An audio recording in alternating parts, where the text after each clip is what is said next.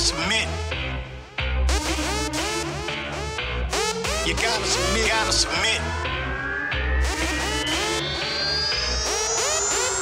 Welcome to the Nathaniel Noble Jr. podcast, where we talk about life because it happens to everyone, along with some great indie musicians Q&A sessions. So come aboard, kick back, and let's vibe.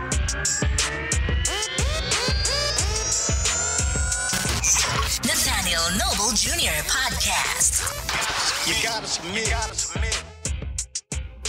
Welcome this week's guest to the Nathaniel Noble Jr. podcast.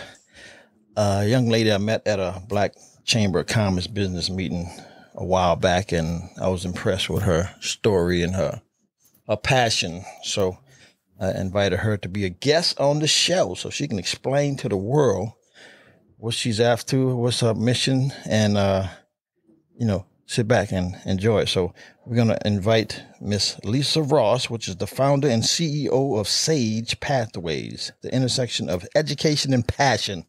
How you doing, my friend? I am well. How about you? I'm great. Glad you know, good to be alive. Any, any day above ground is a good day for me. Amen. Yeah. So how's it going? It's been a while.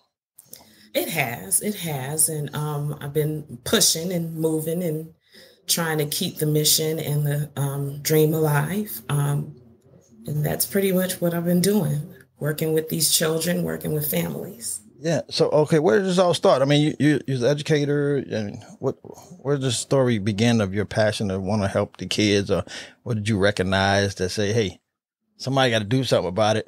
I'm not gonna wait around. Here I am. So it's twofold. Um, one, I was blessed to have some amazing educators um, pour into me as uh, an elementary school student.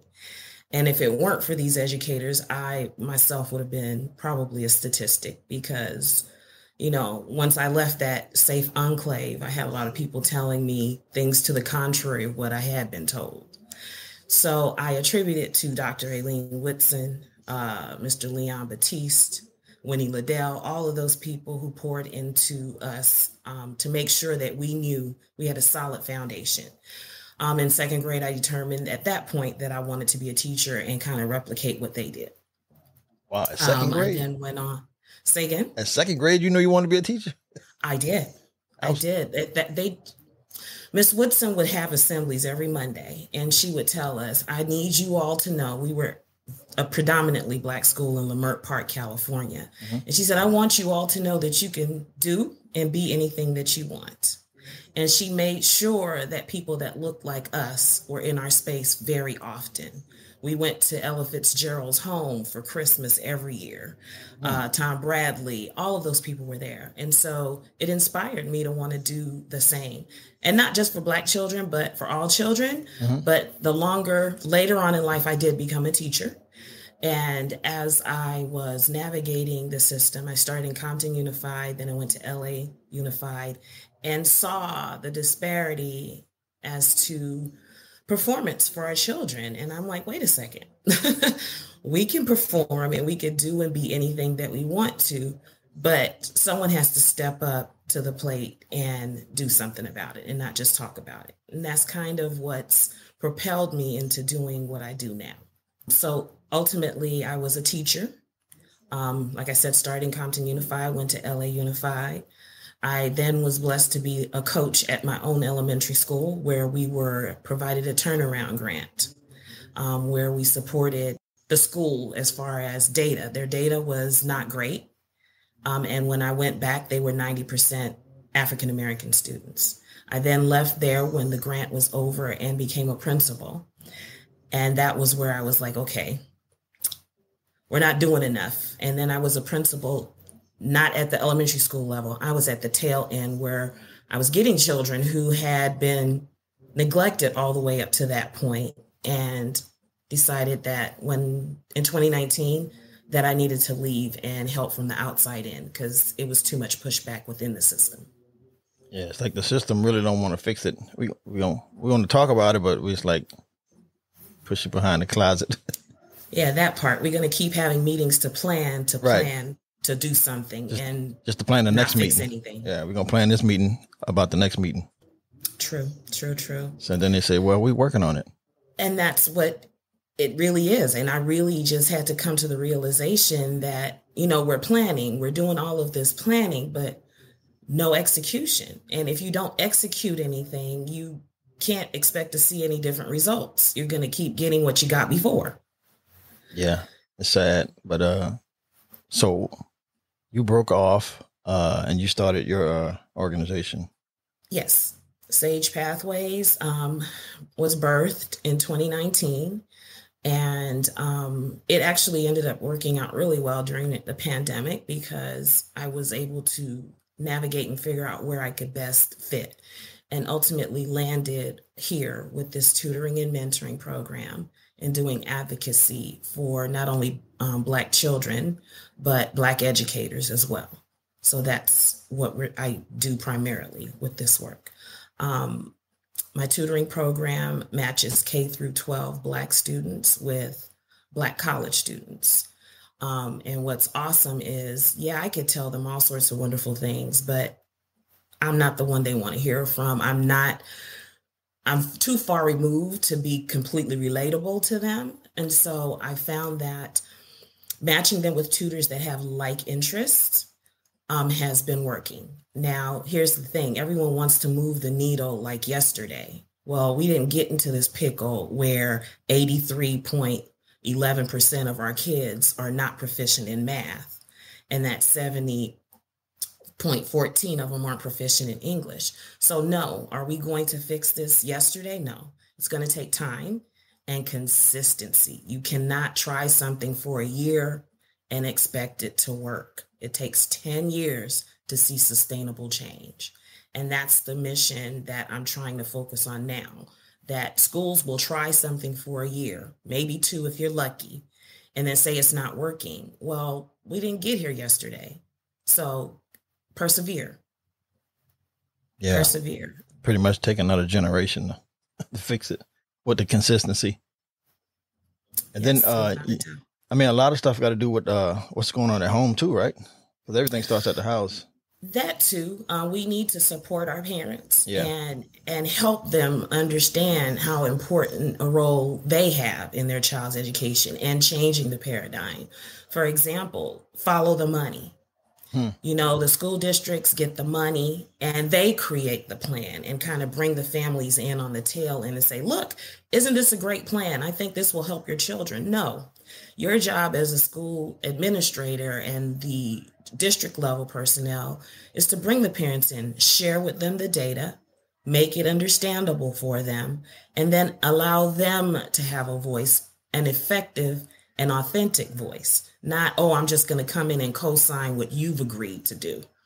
And I think that empowering our parents and training them to know how effective an advocate they are, and they are their child's first and most important advocate, I think that's also a crucial piece that's missing now. You know, um, making the meetings accessible. Don't say you have to be in the room. There's there's freeconferencecall.com, there's Zoom, there's Google Meets. Make it so that it's convenient so parents who really want to be involved are able to be involved. So that's a crucial piece as well. Yeah, anybody can access the Zoom, you know, on a conference call. So Right, right, right. So I do believe, again, training the parents, letting them know their rights as well, because that's another way that they're able to continue perpetrating. Parents don't understand that the budget, they have a voice. They when they create the LCAP, which is the local control accountability plan, which determines how the entire budget for the school district is spent, they need to be in the room. And if they can't be in the room, they need to be in the ear of the person who is in the room as their voice. So those are things that need to be made plain. The parents need to understand how the budgets are developed, what data goes into it, and um, how to best suit their needs for their kids. It's not a one size fits all kind of thing. Um, last year, no, year before last, we were trying to get AB 2774 passed. It made it through all of the um, legislative committees and unfortunately, when it made it to the governor's desk, he wouldn't sign it. And so we ended up not getting a line item on the budget for Black students. And a lot of people say that it's exclusionary, that we're excluding other people. But we are the ones that are performing at the lowest percent of proficiency. That is a state of emergency. That's like going into the emergency room and dealing with someone who has a hangnail over someone who has their hand amputated. So I think it's crucial to make sure our parents understand that. And so that's it pretty much in a long in a nutshell. Yeah. Just make it plain and simple where they can understand it and then they can participate in the conversation. Especially at those Correct. meetings because the closed door meetings and we Yeah. get the after effects. Right. Right. and as much as I pay on my property taxes, we need to be in there. Hello. We need we we we already paid for our ticket 10 times over. I don't even have kids in school no more. My kids are grown and gone. So I'm like, why am I still paying for school? But you know what? That's another part too when you bring that up as a community, because sometimes our parents don't know. So if we in the community, my son's in, he's 23 going on 24. I don't mm-hmm. have anyone in the system right now. Mm-hmm. But at the same token, we have more knowledge and more experience than say a younger parent. So we need to be in the space as well as community members to make sure that if they don't know, we are the voice of reason for them until they can get to the understanding of how important they are. So you got to educate the parents and the students. Everybody needs to be Mhm. educated. Yep. Yep. So with uh, So- Sage, uh, are you online presence? What's that? Where's that? At? So yes, we are an online um, tutoring platform. Um, we did try temporarily for a very short stint to do in person, but again, working with college students who most of them don't have cars, um, and they have limited time because they're also in school themselves. Um, what I found was sometimes schedules didn't align. Um, someone might not show up, whether it be the tutor or the family. Whereas when it's online, you're already at home. They just turn on the computer. The tutor's in their dorm room doing whatever they need to do. So it removes that barrier of having to meet up. And I think it also prevents people from showing up, like I said, and not having another party show up. If it's on Zoom, you've not lost any travel time, gas, or Right. anything. So, uh, and it works. I mean, it takes a minute sometimes for newer children um, and newer tutors to get in the groove of it. But the ones that I've had for a while, they it's a it's a it's simple for them. So yes, cer- and the plan for now is to stay virtual. Yeah. Eventually, maybe when I start um, working where um, most of my kids are coming from one specific area. Right now, I'm having students from LAUSD to Moreno Valley.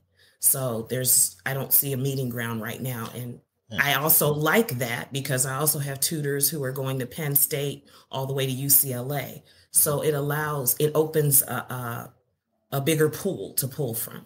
And the tutor is just trying to help them with the uh, math and English or what? Uh, also, Correct. Also, just math and English.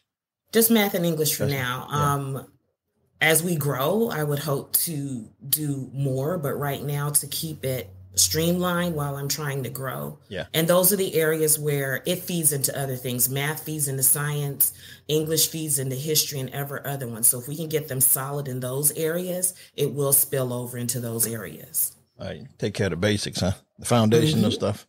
Yep. Cool. And how long? You say you started in two, 2019, right? Correct, correct. However, the tutoring program didn't emerge until 2021.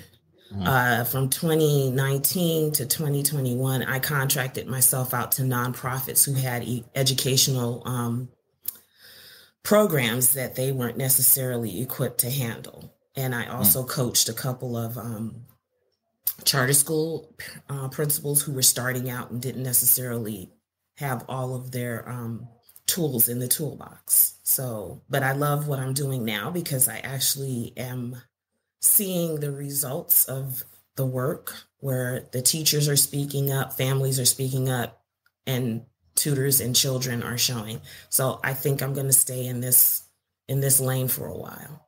Yeah. So, uh, let me see. What's like a five year plan? Five year plan is to get into more districts. I am currently working with a district in the Inland Empire. Um, I'm looking to get into a few more because, again, um, the numbers aren't changing. They're actually, if they're changing, it's this very, very small blip. Yeah. And so um, I figure if we're all working together towards the same goal consistently, we will see changes. And also, I also do, I forgot to say this, I also do monthly parent workshops with like know your rights, IEP processes. So parents who are feeling as though they're alone, they realize that, hey, there are other people in this space that are sharing my concerns and it's a safe space for them to share their concerns and to get support and help and knowledge. So I would love to grow that base out here in the Inland Empire. Um, actually across the state of California, I'm going to be honest. Yeah, so I was going to ask you, are you just focusing on California and not the other states or just, just in-house California? For now, California, I mean, uh, we're in a bad way. Other states are in a bad way. Yeah. Um, but right now, I think my bandwidth is California. Now, can it be replicated in other states? Right. Sure, by all means. I'm open to working with other people and then maybe taking it and replicating it. But um, right now, my focus is California. California. That, like they say, as California goes, so goes the nation. Is that not the truth? So let's make make it a positive go. Yes. Yes. Yeah. Uh any what what kind of challenges you've been having for as uh getting it getting it out, I guess getting it out to the people that, that know you exist. Um actually I think it's been pretty good with getting the word out. The issue that most people are facing is funding.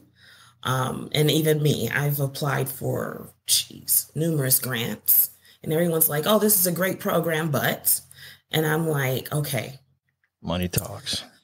money does talk, Yeah, pro- and if you're saying that it's a great program, and we actively want to make a change, the the, the program can't run for free. Right. You know, the tutors will need to eat. I Mhm. need to eat. And so that has been the big, biggest challenge. Even with getting in districts, some of them are like, it's too expensive. I'm like, okay, um, having kids graduate at 90% and above and they can't read or write and they can't do math, expensive. I think which is more important, which is more expensive? Please tell the me. The latter. Because this is going to be a uh, societal the- impact.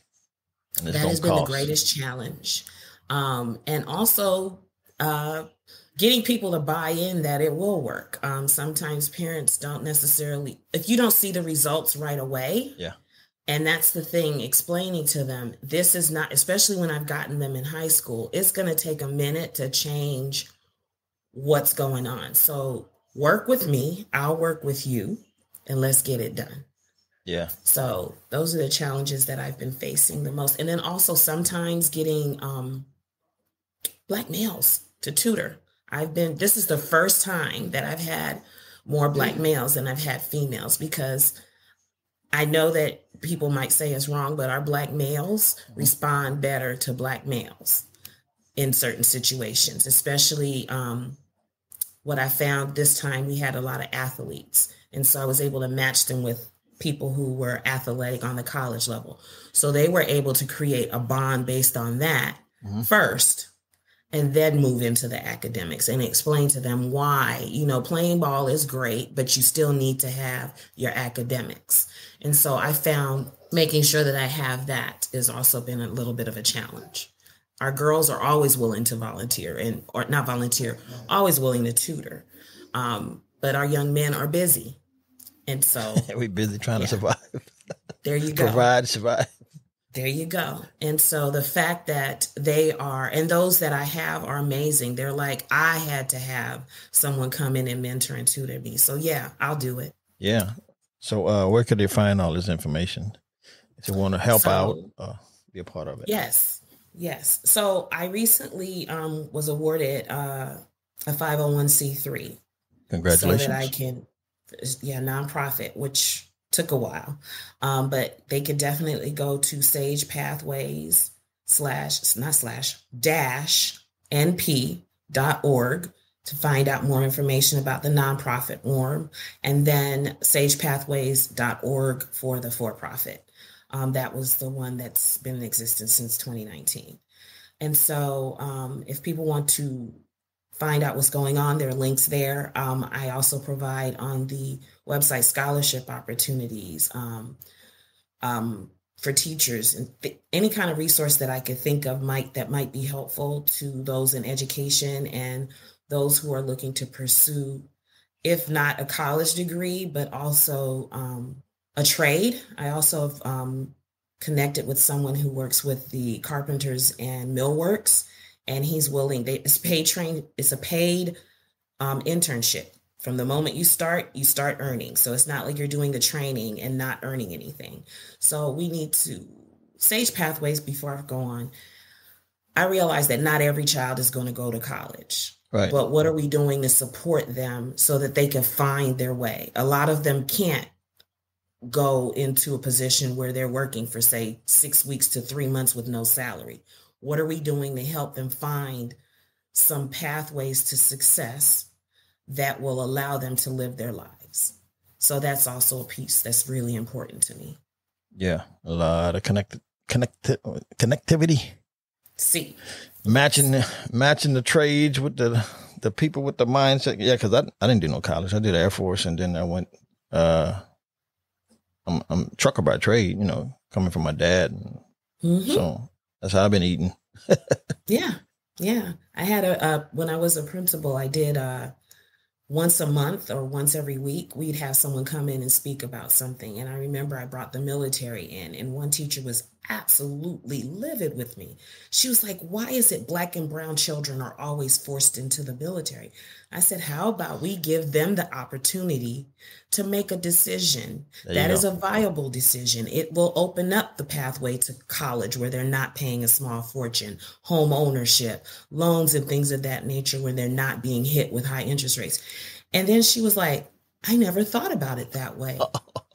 Trust me, nobody like, forced me to sign up. I voluntarily signed up right out of high school. Best thing I could have did. I'm Yeah. still reaping the benefits of the four years, Yep. and I'm getting a check every month for some stuff that happened in there. So Yeah.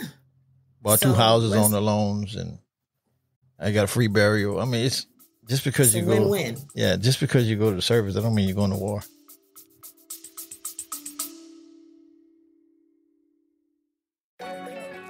Unlock the full potential of your health journey with a membership at joinnatenow.com. This is your gateway to affordable, high quality supplements that are essential for maintaining and enhancing your well being. Not only will you gain access to these exceptional products, but you'll also have the chance to earn extra income by sharing the benefits of membership with others. Whether you're passionate about your own wellness or eager to create a side hustle, joinnatenow.com is the perfect platform to achieve both. Take control of your health and finances today. Join us now at joinnatenow.com. That's joinnatenow.com.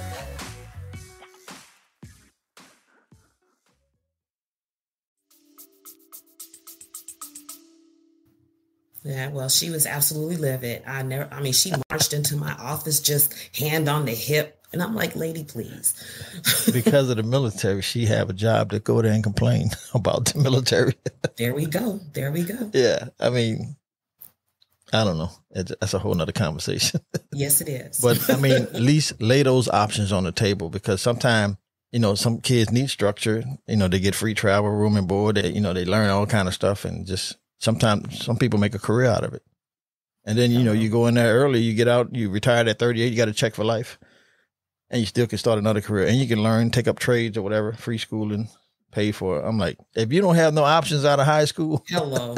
Take that one. hey, three, four year tour or whatever, it made sense to me. And I didn't want to go, but I, I was looking at my options and I'm out. It made sense to me. Right.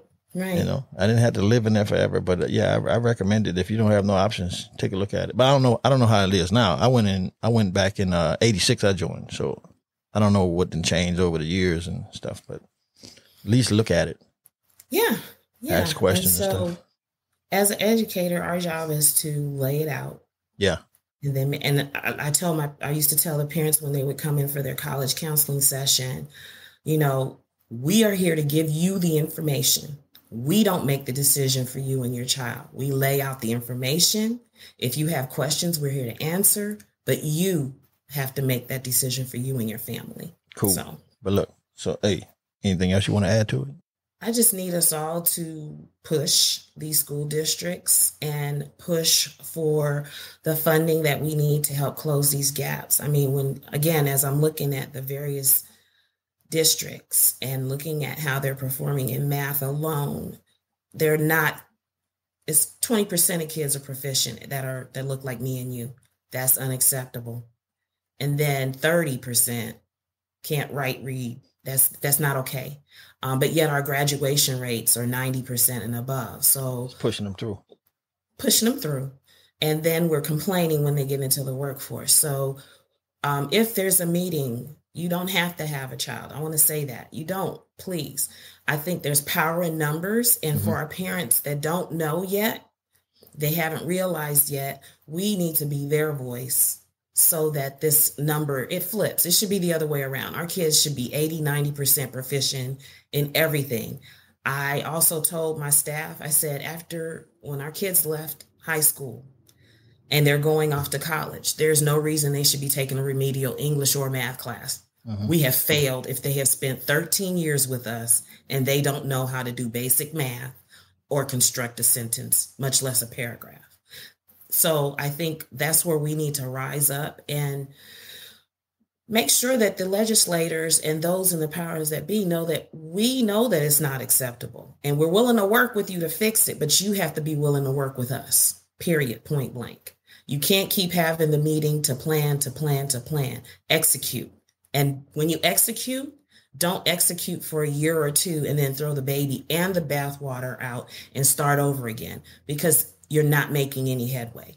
So that's what I would like to invite everybody to do. All of our grandparents, people who don't have children but love children, or whomever. We want a better society. We want a better life for our kids. We need to use our voices and our pen at the ballot box. I'm not going to go there any deeper, but we need to use our um our pen at the ballot box and vote for people who really and truly want to support our children. Cool. I was about to say this is the part of the show where I ask my guests to leave some positive life nuggets.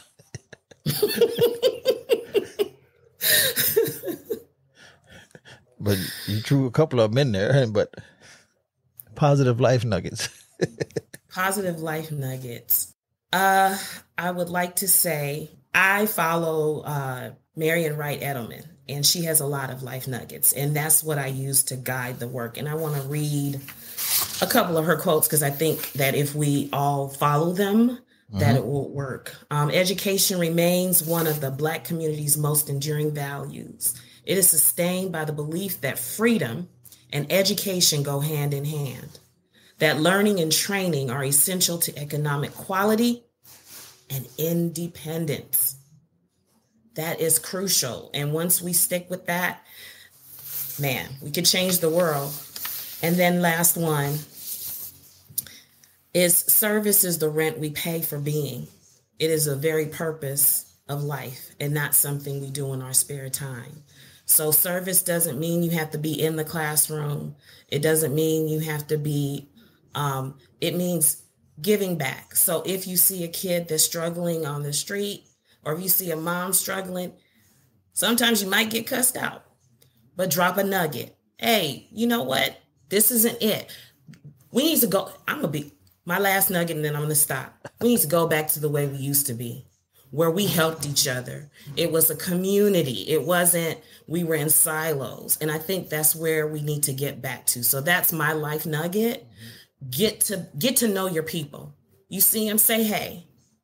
Let them make that eye contact, and then pour into them if you have the opportunity that's my life nugget. I try to do that myself every time. Sometimes I get shut down, but I'm going to keep trying. Yeah, that one person you might pour into change the world. So just keep pouring, pouring, pouring. Yes, yes, yes. So that's my life nugget. Yeah, she was about to get serious. Like, yo, we need to get back to the village. Well, yeah, village. I'm trying not to be. I'm trying not to be, you know, but I'm serious. I, I really do believe that that is what will sustain us, and you know, we can't we can't depend on everybody else to do it. Right. We have to get knee deep, elbow deep in it and do the work. We, you know, we have to care for us, Basically, yes. not Now, here's the other thing. When I said that was the last thing. Bring 'em, bring 'em. When we do well, everyone does well. Yeah, that's why I try to do So- well. Yeah. I'm just trying to do my part. That's why I'm here. I want to share your information with my my tribe, and I need my tribe to support, share, click, like, tell a friend, Thank you for the opportunity. I really appreciate it. because we all got a part in this. We do. Yeah, We do. and we need to bring this to the light. So that's why I say, come on over and tell us about it, Thank you. Miss Lisa Ross. Yes, sir. You've heard it exclusively on Nathaniel Noble Jr. podcast. Hi, this is Lisa Ross, and you're listening to the Nathaniel Noble Jr. podcast. You can find me at sagepathways.org or sagepathways-np.org and on Instagram at education and passion.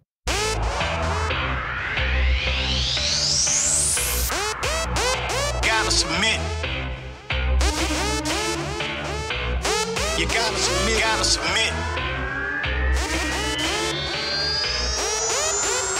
Thanks for listening to the Nathaniel Noble Jr. podcast. If you've enjoyed our show, make sure you subscribe and share with your friends. We appreciate every one of you.